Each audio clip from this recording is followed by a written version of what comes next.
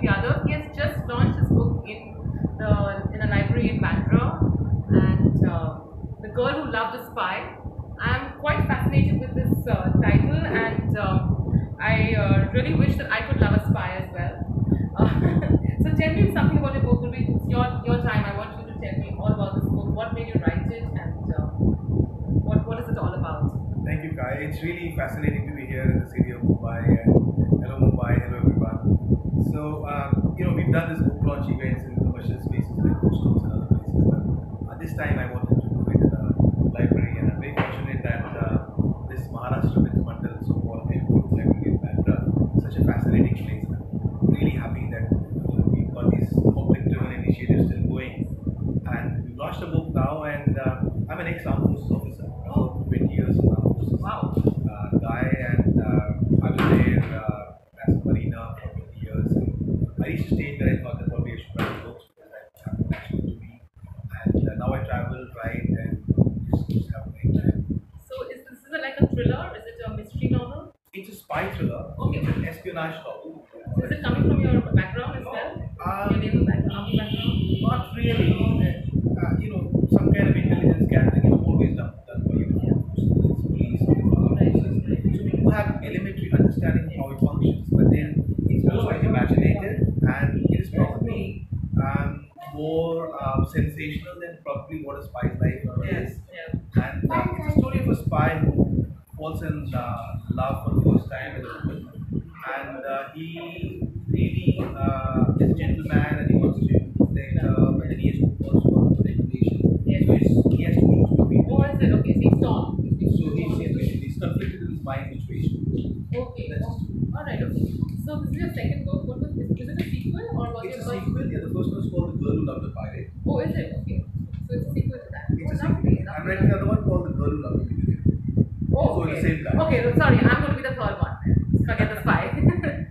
uh, so tell me some new tips for writers, for authors. You know, they, a lot of people want to you know explore their creativity. And what would you say? Like, what is the you know what is the core essence a person has to have? They want to write a book, for example.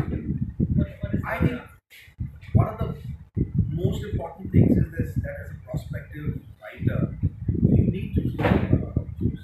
If you've not read a lot of books when you in that's a big minus. And you need to compensate that by reading as many books as you can, particularly of the genre that you want to write. So, for example, I write thrillers, right? I like write espionage novels. So I have to read a lot of espionage novels, crime thrillers, and you know, police procedurals, and mystery, and suspense, and all that. If you want to write romance, then you need to write.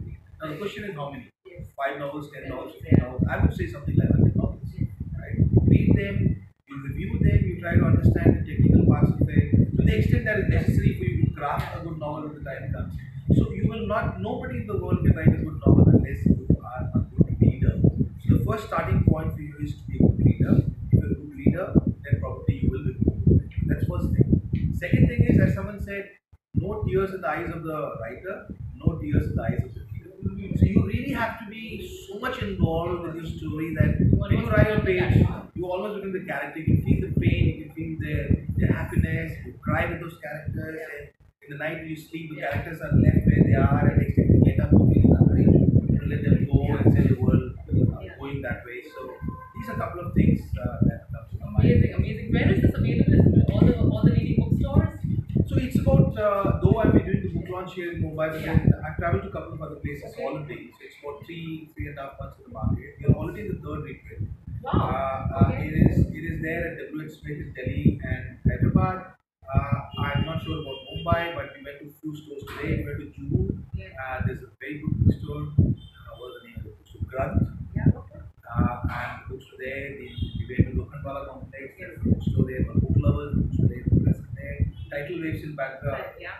And the best thing is, Yeah. they landed up here. So I stayed a couple of days in Colaba. Okay. And then I was traveling to my brother-in-law's place in Malad. So I took this local train from Churchgate. And I went to I went to the Wheeler bookstore and bang on the display. Really? There, there with Mario Puzo and Already? okay, so that must have been quite a quite a thrill for you. Yeah, it was. I think I think people have been reacting. I'm really happy with way Yeah. Absolutely, yes.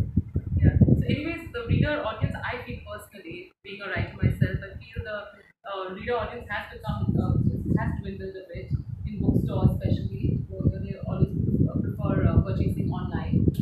So, uh, what, what do you think? What is the solution to that?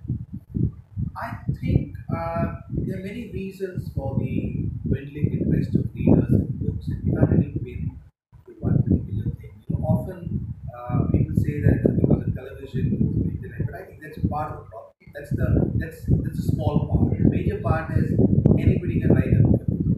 So market is flooded with books which are really. So you know, someone will the first book, stay in the market. There should be a filtration process. There should be rejection. There should be you know. Um, good books should come to the market so that readers really experience good stuff. And that happens, then the whole ecosystem of reading and writing will go in a weird way. Right. So there are many factors which are contributing to, to bookstores shutting down. And of course, the internet Yeah. is one of them. So, well, let's hope that they never do. Hope that we always have good writers like you and a lot of other uh, few people I've met,